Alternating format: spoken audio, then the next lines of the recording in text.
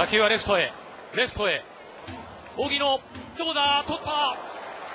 レフト荻野が取りました。ファインプレー。フェンスにぶつかりながらも離しませんでしたレフト荻野。素晴らしいプレーが出ています。伸びていってレフト荻野。いやーこれはすごい。ジャンプしてこの姿勢で取ってます。さすがですまあ、ちょっと腰を打ってるようですけど大丈夫かなっていうところですよね。